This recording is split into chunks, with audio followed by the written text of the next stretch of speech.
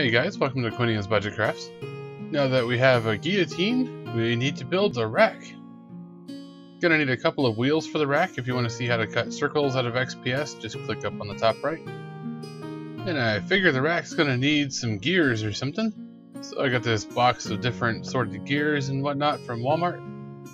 Just picked out a couple that are about the same size as the foam here. And the wheels are gonna need handles on them. Pretty similar to the pirate ship build, we just take some toothpicks and stab holes in there, and then use the fancy toothpicks, the ones that are really long, got the little fancy handle on them, to stick into the hole there with a little bit of white glue. Then we can go in with a knife and a pencil or a sharpie and add some wood grain to these. You really only need to do one side if you're using the gears, because the gear is going to go on the other side, but I wasn't sure what was going to come out better, so I just went ahead and did everything. Most of the racks that I've seen tend to be elevated, so I cut two posts off for the feet of the table thing at I think about 30 degrees. That turned out to be way too high as you can see here. So then I went back and cut two more that are more acceptable 15 degrees or so, just enough that it's elevated. For the tabletop itself, you can just use a bunch of coffee surf sticks, line them up pretty close, cover them with glue, and stick your railings on there. And I am using that wood glue from the last video. That stuff's actually pretty good when you're gluing wood. That makes sense, right? Once it's dry, you can go through and snip off the edges so it's all nice and even. Or leave it kind of screwy if you want. I mean, depends on how rustic of a look you're going for here. So this looks like it's just about the right length to me. If this mini had his arms up over his head, it would make sense. If anything, it might actually be a little bit short. So I just put the wheels on the dowel and then hold it up to the rack to see how low I can get it there. Not really at all. Pretty much as high as I can get it on the thing to make it still clear the floor. So if you want to see how I paint wood, just click up here on the top right.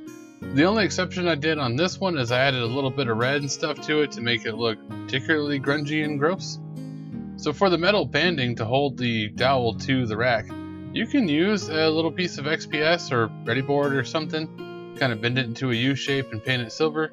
But I picked up a pretty cool trick from uh, Miscast. These metal lids here come on all my coffees. And if you're going to do metal banding, why not just use some metal? All you really got to do is cut out some strips and glue them in place. The downside to this stuff versus using foam is this glue does not take to it nearly as well. You could try poking a hole in it and putting a little push pin or a tiny little nail in there to hold it. It would definitely hold better and look pretty cool, but it's also more work than I want to do, honestly, so we're just going to go with the super glue. It'll work, you just got to give it a little more time than you would with foam. Once you've got them tacked on top, you can wrap them around your dowel and glue them down. Sorry about the blurriness here, I don't know what's going on with the focus. But yeah, just wrap them around the dowel, put a little glue in, hold it there for a minute or so. I decided to make some metal leg cuffs as well. So same idea, just use the same banding and wrap it around like a barbecue stick or a small dowel, whatever size you're going for, and glue it straight to the table. For the rope to hold the hands, we're just going to use some of the jute twine, do pretty much exactly the same thing we did on the gallows, and wrap it around the dowel a couple times to make it look like it's being cranked up. You can tack that in place with some super glue, if you wanted this thing to still be able to rotate, you would definitely need to be a little more careful with your glue application, but I'm never going to move it, so this is good for me. You can also glue these loops to the surface of the table so they don't get all crazy and start sticking up. There you go, the rack.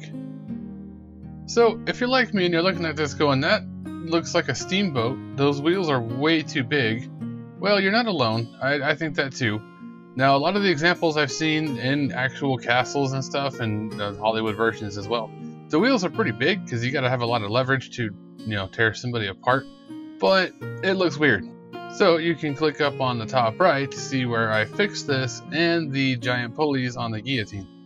As always, thank you for watching everybody. Don't forget to like, share, comment, subscribe, and I'll catch you on the next one.